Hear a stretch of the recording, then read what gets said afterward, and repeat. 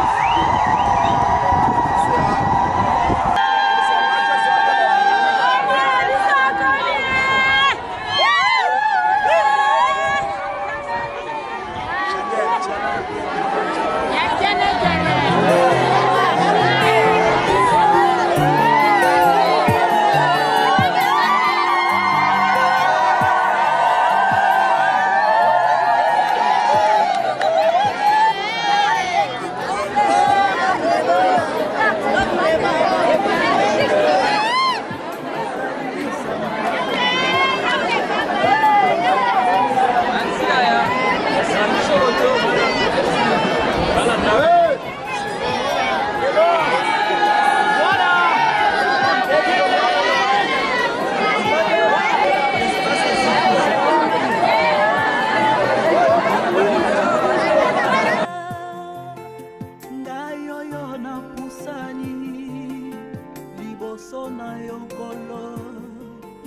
nasupi motema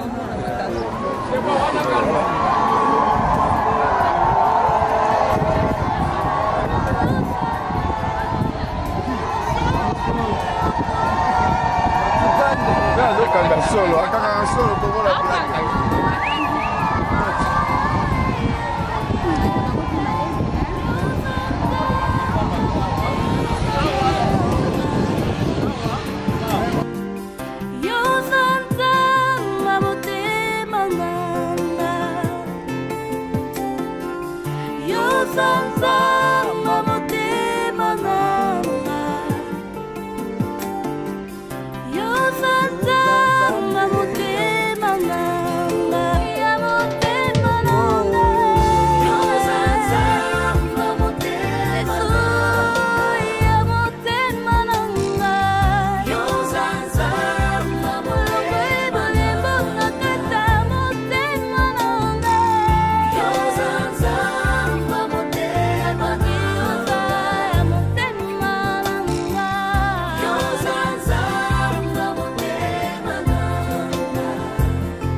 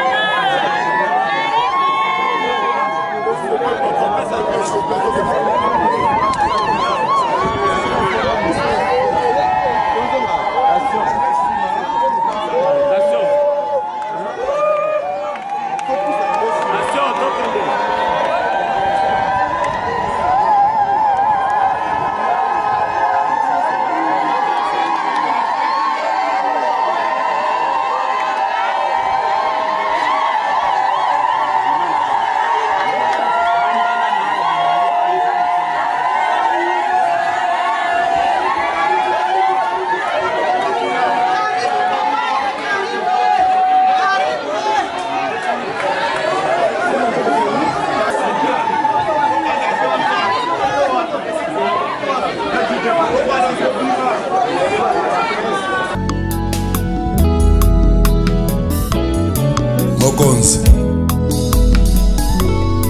ya bakonzi jésus alleluya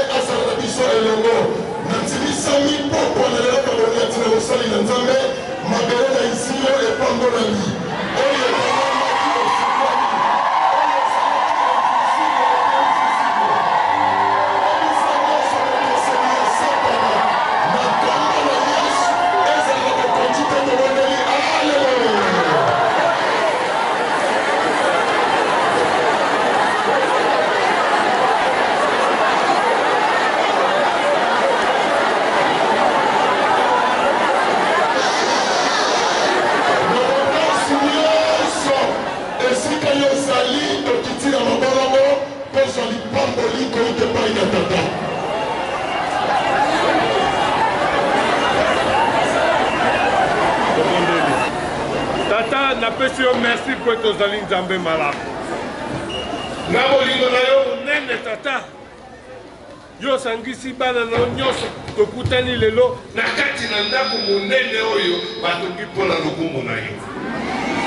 Tata, tika ete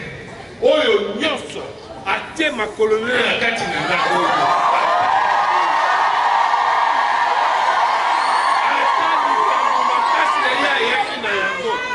Kristo yo opesi solution merci mingi yesu kristo mpo na bolingo monene otie kati na bana na yo pambola bango bazanga eloko te na bomoi na bango bonguna satana tobebisi na nkombo na yesu azala makoki likolo na bana na yo te